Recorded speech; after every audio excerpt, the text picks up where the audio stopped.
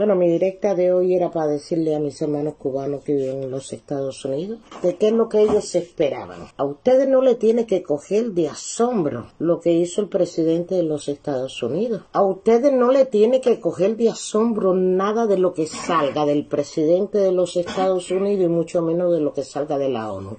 En nuestra cara sale una representante cubana diciendo que en Cuba no es obligatorio el servicio militar cuando todo lo eh, es que yo estoy cansada de decirle al cubano que como no se levante, van a seguirse riendo de nosotros. Pero no solamente se ríe el puesto a dedo ese que no es presidente, los cubanos no quieren entender que en Cuba no hay presidente. En Cuba hay un grupito, un grupito que no tienen vergüenza, no tienen moral, no tienen principio. Son unos asquerosos. Ni hay primera dama, ni hay presidente, pero no hay justicia tampoco y el cubano quiere seguir aguantando. En Cuba no hay ley ni orden y le implantan leyes para que el cubano coja miedo. Pero qué presidente ustedes eligieron y era hora de que fuera para abajo.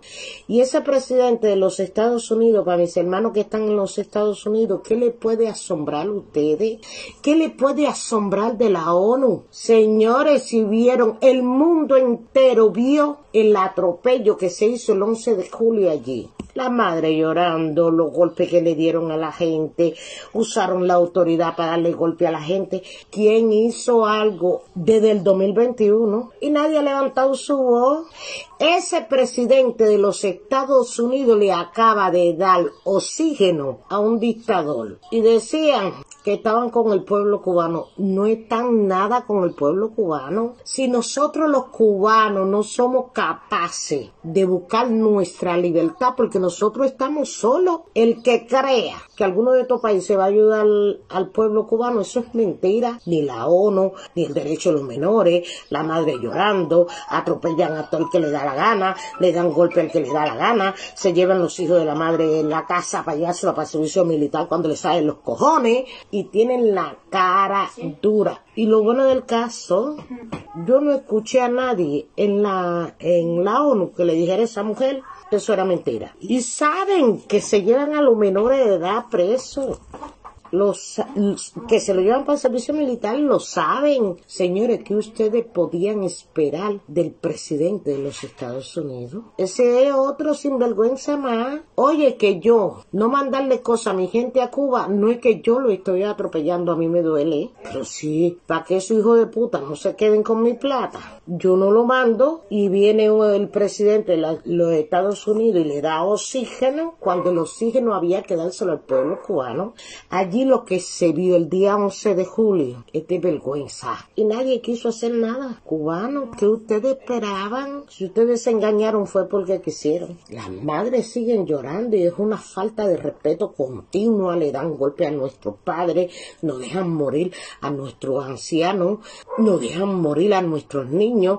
En Cuba es un país sin ley. Pero hay una dictadura allí que este presidente de Estados Unidos lo único que hace es darle oxígeno y nuestra gente se está muriendo de hambre, que no es mentira. Yo hablo con mucha gente dentro de Cuba y a mí me duele mucho lo que yo veo. Pero es que ya esto es demasiado y ahora va el baboso este a darle más oxígeno y más poder a este para que nos no, no oprima más a nuestro pueblo. Pero bueno, eso es lo que hay. Cuando el cubano aprenda a que te quiten la luz, le pega fuego a Cuba completa, como siempre se lo he dicho, aprenderán a defenderse ellos solos. De noche todos los gatos son negros. Yo siempre le digo, no peguen fuego en un hospital. Vayan para la estación de policía tienen un poco de, candela adentro y vamos a ser, vamos a ser clandestinos hasta el día que nos muéramos. Porque para pasar el hambre, que la gente tapa. Y si fuera que le están ayudando a la dictadura y el pueblo va a comer, es mentira. Ellos no van a seguir matando a nuestra gente de hambre y van a seguir matando a nuestros jóvenes oprimidos dentro de una cárcel. Y cogieron a todos esos muchachos presos. ¿Y cuántos años no le han echado? ¿Quién se ha pronunciado? De de la ONU, de la ONU que han ido a Cuba a ver en qué condiciones están los presos en Cuba. Nadie, no tienen huevos. Lo dije en una directa una vez, estos partidos de dictadores les sabe algo a la ONU, le sabe algo al presidente ese de los Estados Unidos, porque hay que tener huevos de ver cómo está el pueblo. Todos los días se sube vídeo del atropello que se hace al pueblo. Y oye lo que hace el presidente de Estados Unidos, darle aire al comunismo. Ay, señores, no se engañen más, que Cuba, si no nos ponemos duros, van a morir nuestra gente de hambre, se van a comer ellos mismos y se verán horrores en Cuba. Se verán horrores, que nos va a doler muchísimo. Pero bueno, también el cubano, yo no le voy a decir a nadie que se tire para la calle. Yo antes le decía que se tiraran para la calle, pero visto lo visto, se tiran para la calle y después no tienen ayuda de nadie. No se puede decir, pero yo sí le puedo decir a mis hermanos, fuego cuando le quiten la luz. Y coger monte, no, no se entreguen. Coger monte como hizo Fidelito el partido de puta ese. Coger monte, hay que coger monte. No te puedes dejar coger. Es un abuso. Y es abuso continuo. Y pasa lo del 11M y esa, esa gente de París le dan un dinero a lo desgraciado eso para que se lo echen a la alca y, y el pueblo muriéndose de hambre. Y le venden la cosa en céntimo y se lo venden a una barbaridad que hay que tener huevo para tú desde afuera mantener una familia familia tuya dentro de Cuba. No hay quien aguante eso. Ese swing de pelea, ni tú viviendo afuera lo puede aguantar porque es demasiado. Es demasiado. Porque en el caso mío yo tengo una mamá y un papá, pero mi mamá y mi papá están separados. Pero yo tengo un hijo de Cuba, lo dejo morir, tengo que dividirme en tres casas. Eso es abuso. Eso es abuso. Pero mientras el cubano se queda sentado, se le va la luz y lo toman como gracia.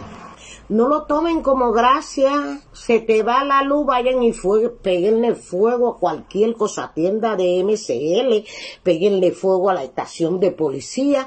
De noche todos los gatos en, a la fábrica, que mejor así, porque ya está bueno ya y este, dándole dinero al, y abriendo, vamos, vamos a abrir. Yo por lo menos yo no voy a Cuba hasta que Cuba no sea libre. Y para yo montarme en un avión para ir para Cuba es porque hay una guerra en Cuba y yo voy a defender mi país. Así de claro.